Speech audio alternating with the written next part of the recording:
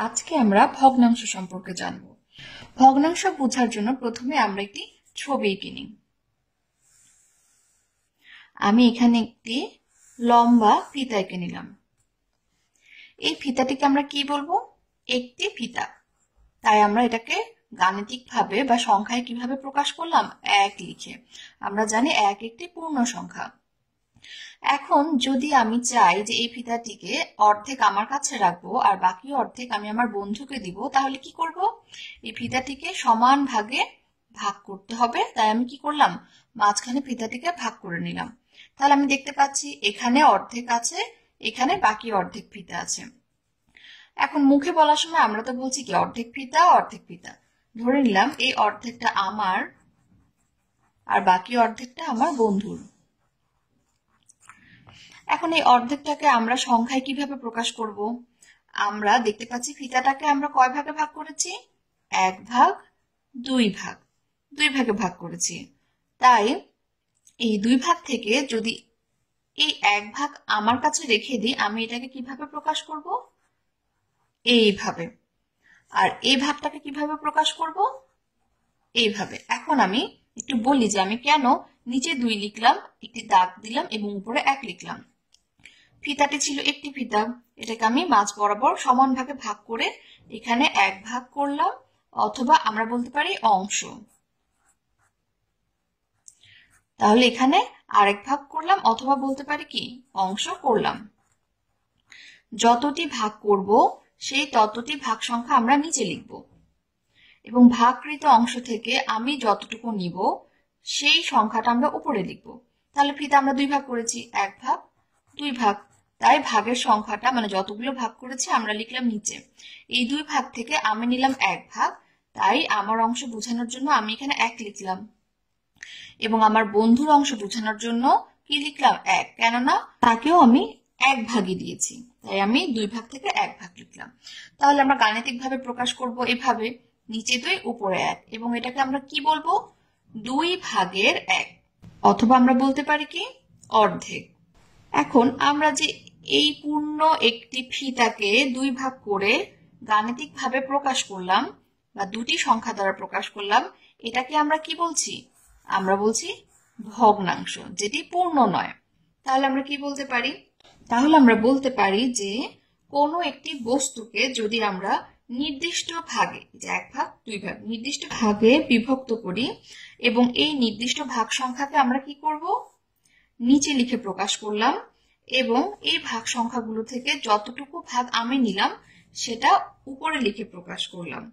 তাহলে এই গাণিতিক ভাবে প্রকাশ করাটাকে আমরা কি বলব? ভগ্নাংশ বলব। আর এখানে এই নিচের সংখ্যাটিকে আমরা কি বলব? আমরা বলব হর। আর উপরের সংখ্যাটিকে আমরা বলব লব তাহলে আমরা শিখে নিলাম যে আমরা ভগ্নাংশ কাকে বলব এবং ভগ্নাংশের উপরের সংখ্যাকে আমরা বলব লব এবং নিচের সংখ্যাকে আমরা বলব হর। এখন ভগ্নাংশ আমরা আরেকটি চিত্রের মাধ্যমে আরেকটি বুঝি। ধরলাম আমার কাছে একটি কেক রয়েছে। এই কেকটিকে আমি কি করব? সমান চার ভাগে বিভক্ত করব। তাহলে আমি কি করলাম? মাঝখানে একটি দাগ দিলাম। এভাবে একটি দাগ দিলাম।